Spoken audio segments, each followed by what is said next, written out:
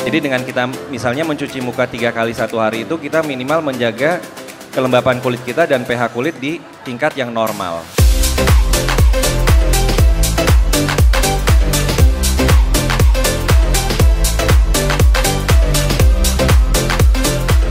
Kita itu baru relaunch produk facial foam kita di Mhm. awal tahun ini. Eh, jadinya kita datang dengan eh, formula skin purifying teknologi. Jadi kita bisa membersihkan tuh semua kotoran, debu, Mhm. keringat eh, berlebih, tapi juga nggak penetrasi ke dalam kulit sehingga nggak mengganggu kelembapan alami kulit.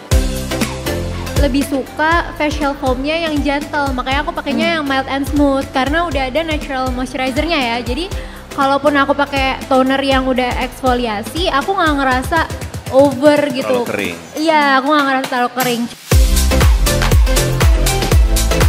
Halo semuanya, aku Nadia Akila dan sekarang aku habis talk show bareng Dokter Dara dan Biore di Jakarta X Beauty.